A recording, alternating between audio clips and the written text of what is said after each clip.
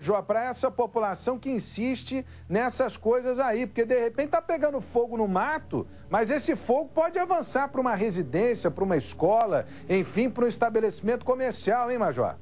Sim, isso com certeza. O que a gente orienta é que o, o, a população tem que agir sempre preventivamente. Né? Ela tem que evitar o acúmulo de lixo em terrenos, realizar a limpeza correta né, do, do mesmo eu fazer a denúncia junto aos órgãos fiscalizadores da prefeitura, para quê? Para que os mesmos tomem conhecimento e tomem alguma atitude perante o proprietário. Né? E também o 90% dos nossos casos, Rodrigo, é, for, foram incêndios gerados pela ação humana.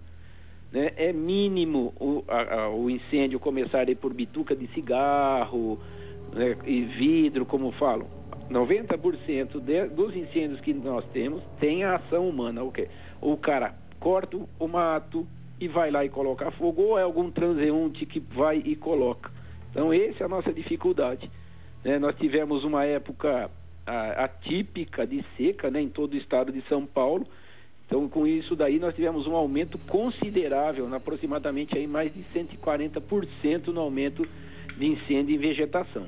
Agora, não custa dizer que nós estamos passando por essa crise hídrica e se está faltando água para o povão em casa, pode faltar água para o bombeiro. É claro que há uma reserva técnica para a emergência dos bombeiros. O bombeiro não pode ficar gastando água à toa também. O sujeito bota é, fogo no mato do lado da casa dele e depois liga para o corpo de bombeiros, para o corpo de bombeiros apagar. Meu camarada, haja primeiro com prevenção, ué. Se você não cuidar aí do seu terreno, não cuidar das coisas que estão do lado da sua casa, não adianta ligar para o bombeiro depois. Eu tenho certeza que os homens do bombeiro vão. Vão com vontade, vão com garra, é, pensando principalmente na vida do ser humano. Agora, se a gente pode evitar, por que não evitar? É, eu acho que a prevenção é o melhor remédio. Um abraço para o Major Wilson Lago, que é comandante do, do, do Corpo de Bombeiros. Aqui eu estendo aqui a toda a tropa. Um fortíssimo abraço e toda a admiração é, é, é, da nossa equipe, porque nós mostramos todos os dias o trabalho árduo, né, intenso, competente do Corpo de Bombeiros aqui na televisão. Todo dia a gente está mostrando. Eu não me canso de falar desses homens que lideram o ranking da admiração popular. Se eu for perguntar hoje para um cidadão, é que instituição você mais admira? Primeira coisa é o Corpo de Bombeiros. É o Corpo de Bombeiros.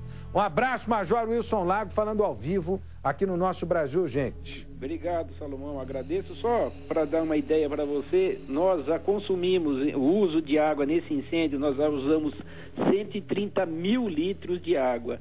Água essa, Rodrigo, que poderia estar sendo usada para a população, que a gente sabe que em muitas regiões essa água está faltando. Com certeza, tá? com certeza. É uma reserva que precisa existir, que é uma reserva técnica de emergência mas essa reserva poderia de fato ficar na reserva para que essa água não fosse colocada aí é, é, para esse fim. Um abraço, Major Wilson Lago. Outro para você e um bom programa para você aí, Rodrigo. Muito obrigado. É a todo mundo aí do, do, do, do grupamento do Corpo de Bombeiros de Campinas. Pode vir comigo aqui, olha. A Polícia Civil de Vinhedo, atenção, hein, recebeu hoje um relatório com histórico de atendimento médico do menino Iago, né, que foi espancado e pode ter morrido em decorrência dos espancamentos praticados pelo próprio pai.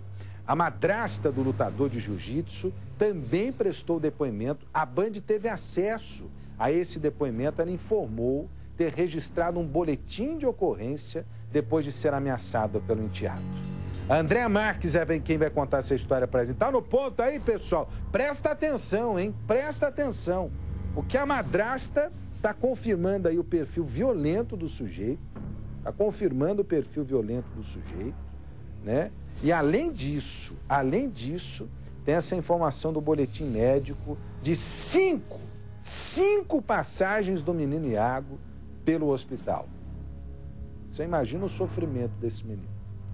Deixa eu ver a reportagem, vem comigo aqui, ó. Olho na notícia. Dez testemunhas entre parentes, médicos e funcionários do prédio onde a família morava em Vinhedo já foram ouvidas. Os investigadores já não têm dúvidas do perfil violento do lutador de jiu-jitsu, Tiago Aymar de Moraes. Mas um depoimento revelador foi dado pela madrasta do empresário, acusado de agredir e matar o filho de apenas dois anos. Em um relato de quase duas horas, ela disse até mesmo ter sido ameaçada pelo enteado.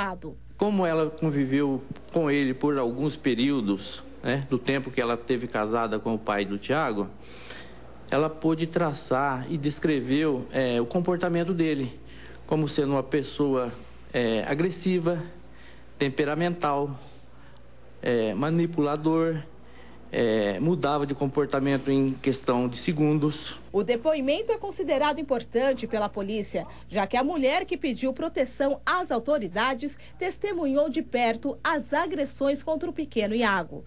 No depoimento obtido pela Band, a madrasta contou que em março deste ano viu a criança bastante machucada e que as agressões aconteceram quando Tiago resolveu dar banho no filho.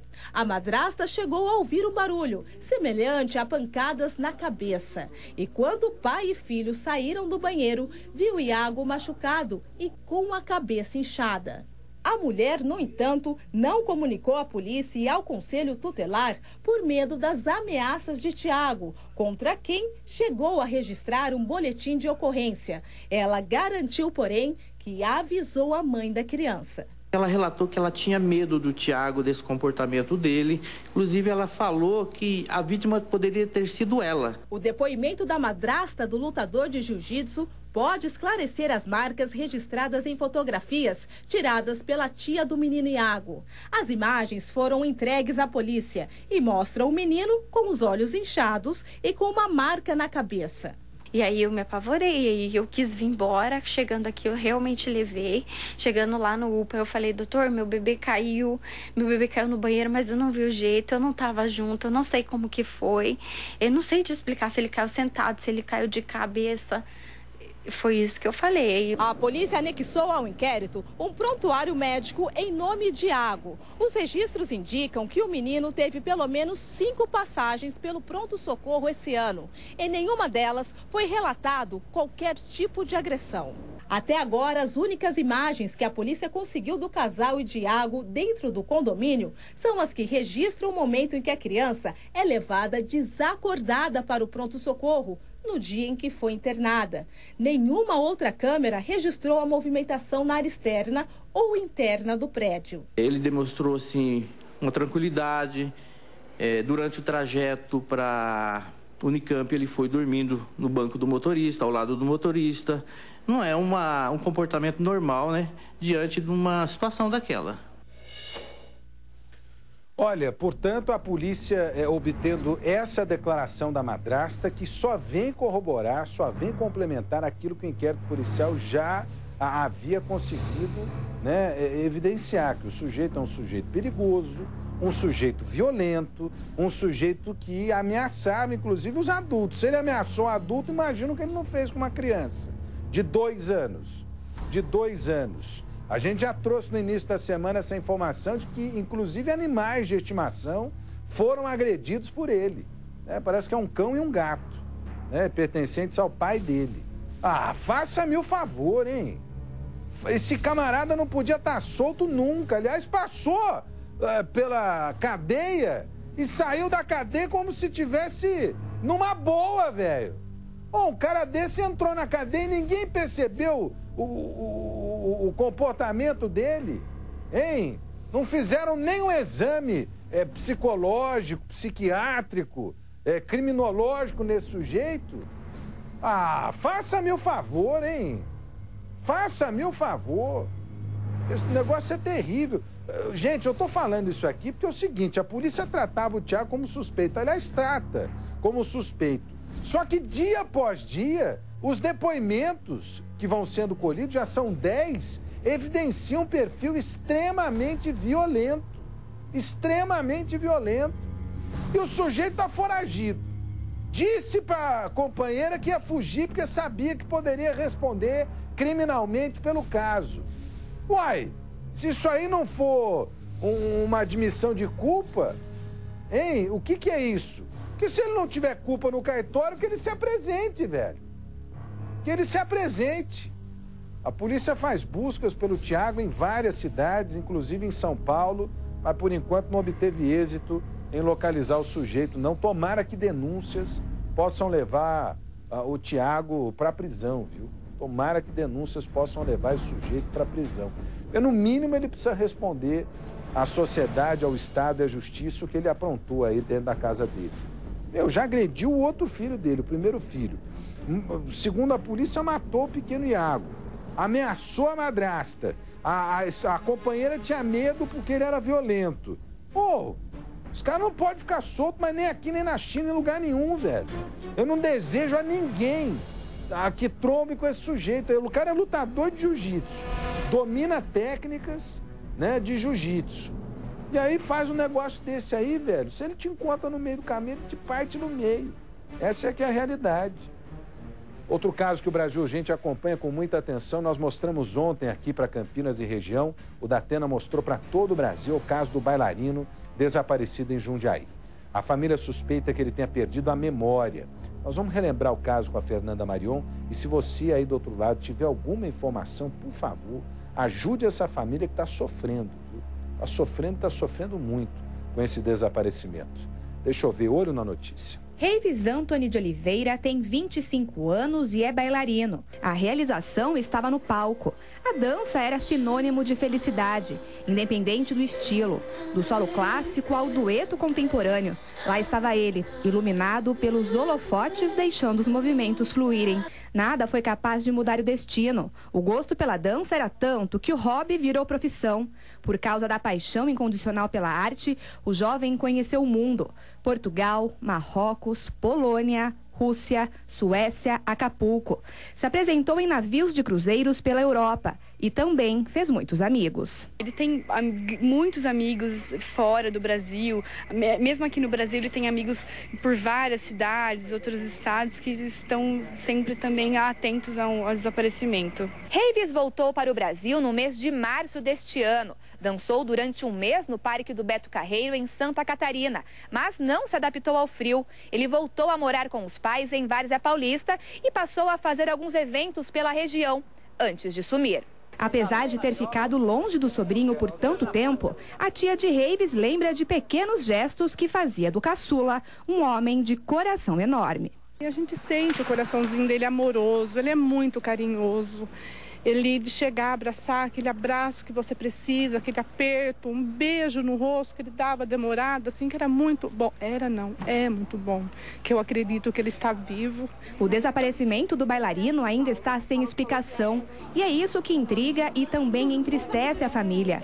Enquanto as respostas são vagas, as lembranças de um jovem carismático sem problemas e, acima de tudo, feliz, conforta os familiares. A gente já chegou num ponto que a gente não, não sabe mais o que pensar pensar.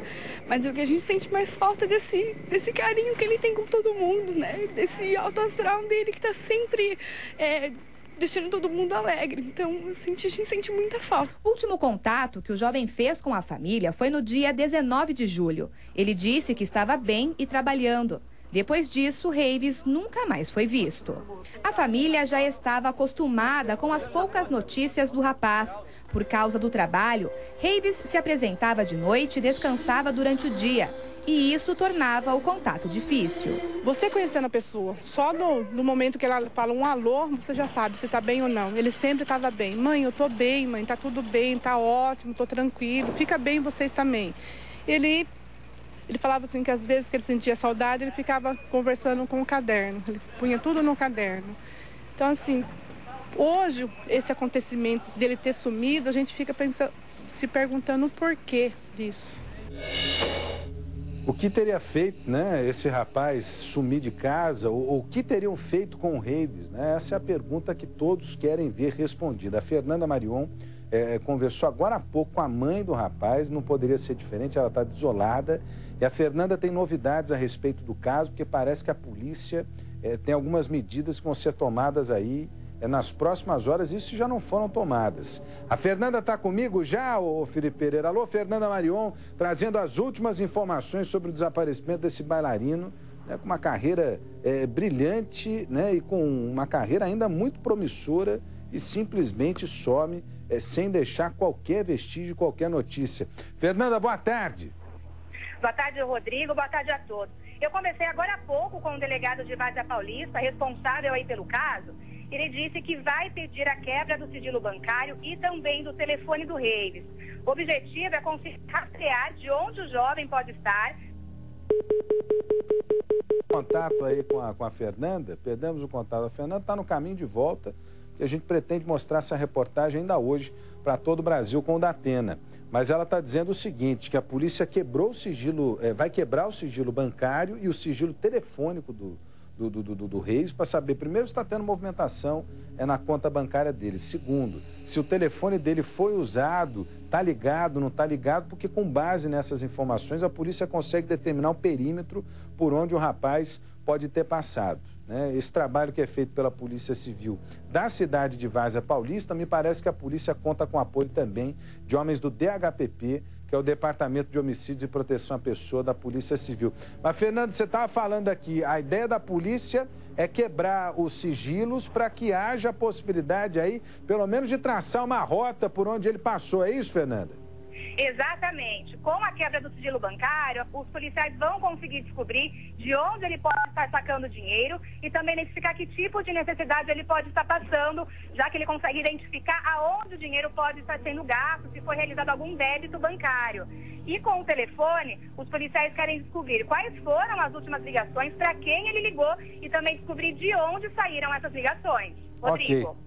Fernanda Marion falando ao vivo aqui no nosso Brasil Urgente para Campinas e para toda a nossa região. Olha, eu estou com o horário estourado, mas deixa eu ver imagens aí, porque no Jardim Manchester, em Sumaré, um, um, um depósito de veículos clandestinos. É um desmanche irregular, né? Localizado pela Polícia Civil, homens da DIG, a Delegacia de Investigações Gerais da cidade de Campinas. A reportagem completa nós vamos mostrar amanhã, mas é o seguinte, olha. Uma pessoa acabou presa, outra ficou ferida em uma troca de tiros é, com a polícia. 11 carros foram localizados, um carro parcialmente desmanchado, né? Várias peças localizadas, hein? Várias peças localizadas. Trabalho da polícia, parabéns à polícia, né? É, colocando na cadeia essa gente que alimenta um crime terrível, porque o crime do roubo de veículo, né? É, consiste é, num furto, num roubo, mas pode terminar com a morte de alguém bandido mata hoje de graça, de graça. E tinha até monitoramento é, de câmeras, olha lá, ó. Tinha até o monitoramento de câmeras para saber se a polícia estava se aproximando. Ah, brincadeira, hein? Pode vir comigo aqui, nós vamos colocar um ponto final nesse Brasil Urgente para Campinas e região, porque o Datena está chegando agora para todo o Brasil e está aqui, olha. Trote violento, um calouro acabou machucado em São Paulo. Assunto em destaque aqui no nosso Brasil Urgente, que segue com o Datena agora para todo o Brasil. Agradeço o carinho da sua audiência, da sua companhia. Tchau para todo mundo e até amanhã, hein? Até mais.